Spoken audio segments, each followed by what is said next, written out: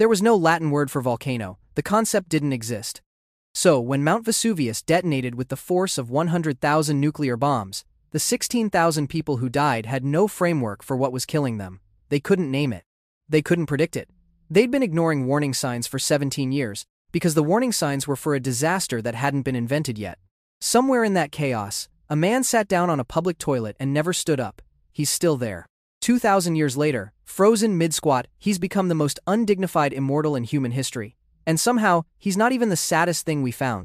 They had 17 years of warning and did absolutely nothing. Here's the thing about Pompeii that nobody talks about it wasn't a surprise. In 62 AD, a massive earthquake rattled the city so hard that temples crumbled, public buildings collapsed, and the water infrastructure got absolutely wrecked.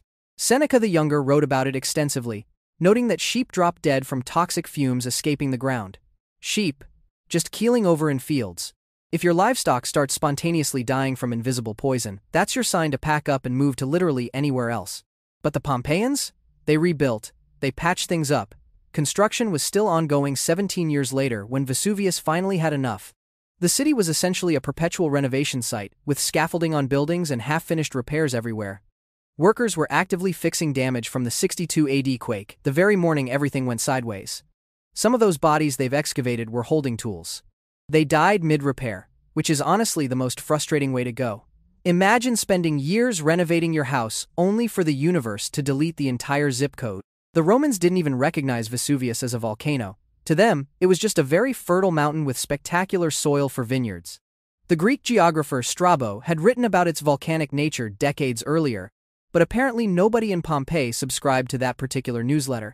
They had no concept of volcanic eruptions, the word volcano wouldn't even exist for another 1,500 years, derived from Vulcan, the Roman god of fire.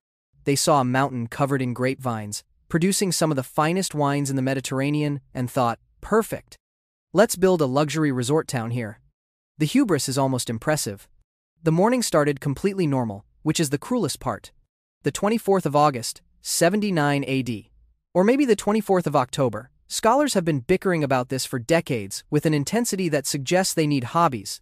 The traditional August date comes from a manuscript of Pliny the Younger's letters, but some copies say October. Recent archaeological evidence found autumn fruits and heating braziers in use, suggesting the later date. Pomegranates don't ripen until September. Braziers don't get lit in August Mediterranean heat. Either way, the morning was gorgeous clear skies, perfect weather. Around 20,000 people going about their business in a thriving Roman resort town, completely unaware they were living the last normal hours of their lives. The excavated remains tell us exactly what people were doing. Bread was baking in commercial ovens. Meals were being prepared across the city. Prostitutes were entertaining clients in the city's many brothels, as evidenced by the rather specific positions some bodies were found in. One guy was apparently caught mid bowel movement in a public latrine. He's been frozen in that exact position for nearly 2,000 years. Fame comes for us all in different ways, and his particular immortality is absolutely nobody's first choice. The forum was bustling with morning activity. Merchants were selling goods from stalls. Politicians were doing whatever Roman politicians did, probably accepting bribes and giving speeches nobody wanted to hear. The amphitheater was quiet that morning, but street vendors were setting up for the day's business. Someone was painting an advertisement for upcoming gladiator games on a wall. We found it. It was never finished. The paint dried mid stroke. Around noon, small earthquakes started. But small earthquakes were just background noise in this region. Nobody panicked. Nobody should have panicked, based on everything they knew. The mountain had been making weird noises for days, maybe weeks. Springs were drying up mysteriously. The ground was slightly warmer in places. Wells that had flowed for generations suddenly went empty. All signs that meant absolutely nothing to people who had no frame of reference for what was about to happen. You can't prepare for a disaster category that doesn't exist in your worldview. 1 p.m., when the mountain exploded its own top off. At approximately 1, 0 inches the afternoon, Mount Vesuvius detonated with a force equivalent to 100,000 Hiroshima bombs. The top third of the mountain simply ceased to exist, replaced by a column of ash, pumice, and superheated gas that shot roughly 33 kilometers into the stratosphere. For context, commercial airplanes cruise at about 10 kilometers. This thing punched through that altitude without slowing down. Weather happens below 12 kilometers. This eruption was happening above weather. Pliny the Younger, watching from Misenum about 35 kilometers away, described the cloud as resembling a Mediterranean pine tree. It shot straight up on a trunk of volcanic material, then spread out at the top where the atmosphere stopped it. His description is so accurate that this type of eruption is now scientifically called Plinian. The 18 year old kid watching his world end accidentally named a category of natural disaster. His observational skills were better than most modern journalism. The sound would have been beyond comprehension. Modern estimates suggest it registered around 200 decibels at the source. For reference, a jet engine at close range is about 140 decibels. Above 185 decibels, sound waves create a shock wave that can kill you outright by pulverizing your internal organs. The immediate area around the mountain was just insta death territory. People didn't die from the sound, but they definitely would have felt it in their chests from kilometers away. But Pompeii was 8 kilometers away, just far enough to survive the initial blast, just close enough for what came next to be absolutely devastating. The citizens heard a sound unlike anything in human experience, looked up, and saw their sky being erased by a pillar of darkness ascending into the heavens. The mountain they'd lived beside their entire lives was suddenly a pillar of fire reaching toward the gods. Now would have been an excellent time to run. Many didn't. The first three hours, death by falling rocks. The eruption column didn't just go up. What goes up must come down, and Vesuvius was throwing pumice stones the size of golf balls into the atmosphere by the ton. The prevailing winds pushed this material southeast, directly toward Pompeii. By 2 p.m., rocks were raining from the sky. Herculaneum, northwest of the volcano, was spared the pumice entirely due to wind direction. Pompeii got absolutely hammered. Pumice is volcanic stone filled with air bubbles, so it's relatively light. Getting hit by one piece wouldn't kill you. Getting hit by thousands per minute, hour after hour, while trying to navigate through ankle deep, and then knee deep, and then waist deep accumulation, that would absolutely do it. The pumice fell at a rate of approximately 15 centimeters per hour. Roof started collapsing under the accumulated weight within the first two hours. Roman roof construction was not designed for this particular stress test. This is when the first wave of deaths occurred. People sheltered indoors, thinking they were safe from the falling debris, only to have their ceilings crush them. The bodies found in lower levels of buildings, beneath collapsed roofing material, died in these early hours. They made a reasonable choice based on available information. It just happened to be the wrong one. Sometimes good decisions kill you anyway. Others tried to flee immediately and had better luck. The roads out of Pompeii were quickly buried. Wheeled vehicles became useless within an hour. Anyone who escaped had to do it on foot, covering their heads with pillows, cushions, or whatever padding they could grab, navigating through a landscape where visibility dropped to nearly zero. The pumice storm blocked out the sun, day became night, and the mountain kept throwing rocks with tireless enthusiasm. Archaeological evidence shows people making desperate choices in the chaos. One family grabbed their valuables and made it to the harbor, where they died waiting for boats that couldn't dock in the conditions. Another group huddled in a wine cellar, hoping to wait out the storm. The cellar collapsed on them. A gladiator, still wearing his leg armor, was found with a woman dripping in gold jewelry. They weren't in the gladiator barracks. Make of that what you will. 5 p.m. to midnight. The waiting game from hell. By late afternoon, Pompeii was buried under about 2.8 meters of pumice. The city hadn't been destroyed so much as gradually entombed. People who had survived the initial fall were now stuck in a hostile landscape of loose volcanic rock, toxic air, and absolute darkness. The sun had disappeared behind the ash cloud. The only light came from lightning storms generated by the eruption column's electrical charge, illuminating the landscape in brief, terrifying flashes. This is where Pliny the Elder enters the story. He was the commander of the Roman fleet at Misenum, and also history's most dedicated nerd. When his sister pointed out the strange cloud over Vesuvius, his first reaction was scientific curiosity. He ordered a ship prepared so he could observe the phenomenon up close already dictating notes to a secretary. Then rescue messages started arriving from friends near the eruption zone. Scientific expedition became rescue mission. Pliny the Elder sailed directly toward an active volcanic eruption because people needed help, and he had boats. His nephew stayed behind because he had homework to finish. Sometimes history survivors are just lucky procrastinators with pressing academic obligations. The elder Pliny reached Stabiae, a town south of Pompeii, where conditions were deteriorating rapidly but hadn't yet become lethal. He ate dinner, took a bath, and went to sleep, allegedly to calm the terrified household he was staying with. Whether this was bravery, fatalism, or an old man being incredibly tired, we'll never know. The pumice kept falling, buildings groaned under the weight, and the mountain prepared its final, devastating act. The pyroclastic surges, when the real killing started. After midnight, on the 25th of August, the eruption column collapsed. The material that had been shooting upward suddenly had nowhere to go but down and outward. Superheated gases, ash, and rock fragments came screaming down the slopes of Vesuvius at speeds exceeding 100 kilometers per hour. The temperature exceeded 300 degrees Celsius. This was pyroclastic flow, and it was unsurvivable. Nothing that breathes oxygen can survive those conditions. Nothing. The first surge hit Herculaneum, a smaller town closer to the volcano. Those residents died within seconds.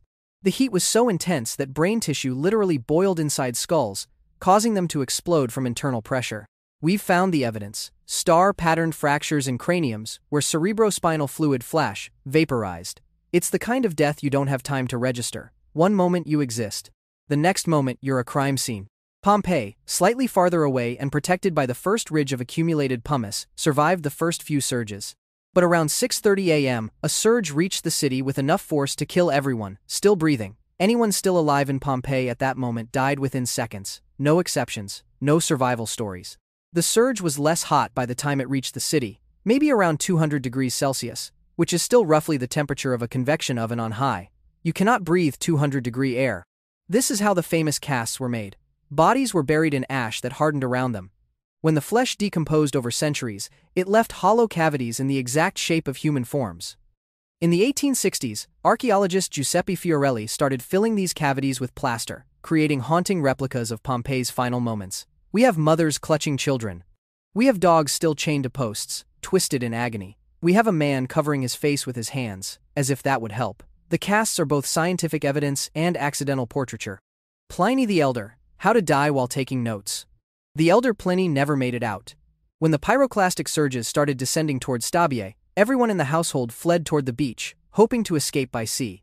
The volcanic debris made it impossible. The sea itself was churning with pumice, making navigation dangerous. Pliny, who was overweight and suffered from chronic respiratory problems, collapsed on the shore. When his companions returned two days later to recover his body, he was lying peacefully, apparently undamaged.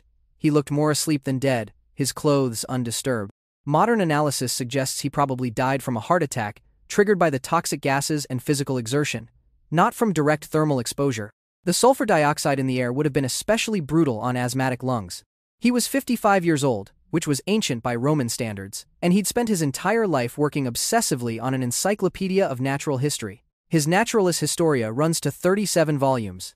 He died the way he lived, investigating something that would probably kill him, still curious until the end. His nephew's account of these events, written years later in letters to the historian Tacitus, is the only surviving eyewitness testimony of the eruption. Pliny the Younger was 18 when he watched the mountain kill his uncle, bury entire cities, and blot out the sun for days. He wrote about the screaming crowds, the earthquakes, the darkness that wasn't night, but the absence of light itself. He wrote about his mother urging him to leave her behind so he could escape faster. He wrote about finally making it to safety and waiting for days, not knowing if the world itself was ending. The letters are remarkable because they're so clinical. He describes horror with the precision of a naturalist cataloging specimens. Maybe that's how he processed it. Maybe that's the only way to write about watching 16,000 people die without losing your mind completely. The body count and the bodies we found. Between Pompeii and Herculaneum, approximately 16,000 people died. That's the estimate. The actual number is impossible to know because many fled successfully, many bodies remain undiscovered beneath unexcavated sections, and some were likely vaporized completely by the pyroclastic flows. We've excavated roughly 1,150 bodies from Pompeii and about 350 from Herculaneum. About a third of Pompeii remains unexcavated. The digging continues, slowly and carefully. The positions tell stories, about 38% of Pompeii's victims show signs of death by building collapse in the early hours, killed by the weight of pumice on roofs. The remaining 62% died in the pyroclastic surges, their bodies found in the ash layer above the pumice. Some were caught mid stride, trying to run. Others were crouched in corners, seeking shelter that didn't exist. One group of about 50 people was found in the basement of a large building, all huddled together. They survived the pumice. They didn't survive the surge.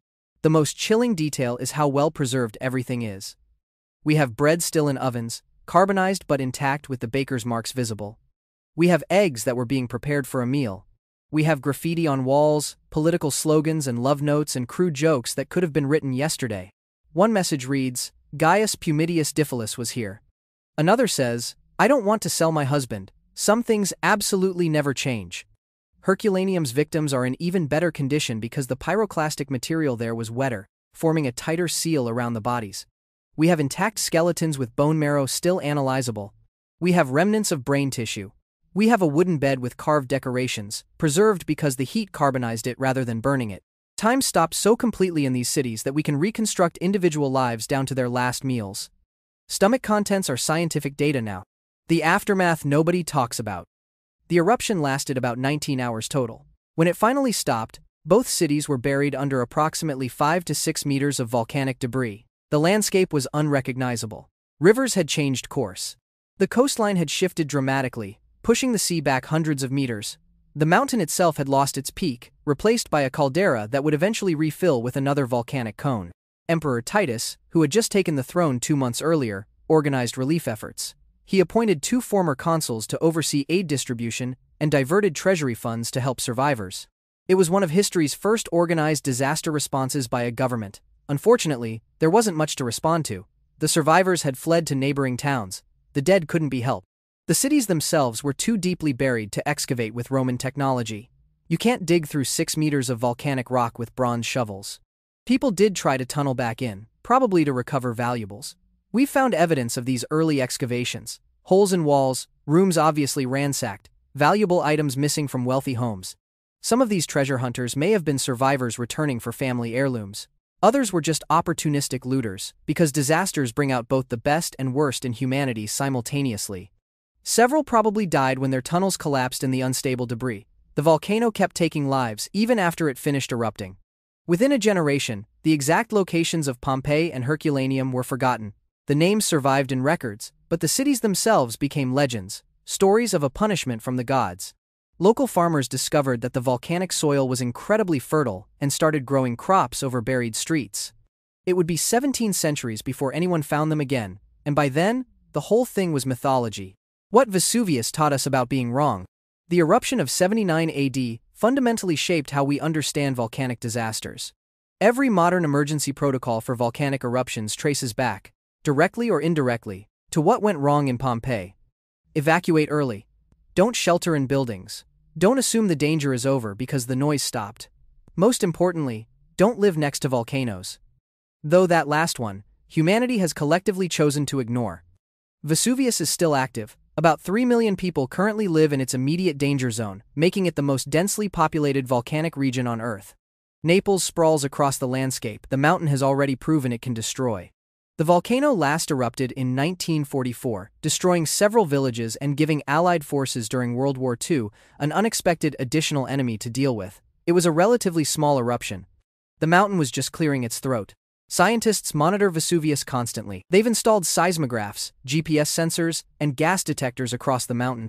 Emergency evacuation plans exist for the region, theoretically capable of moving 600,000 people in 72 hours. Whether those plans would actually work is untested and probably untestable. You can't practice evacuating 600,000 people without actually evacuating them. The Pompeians didn't know what a volcano was. We have no such excuse.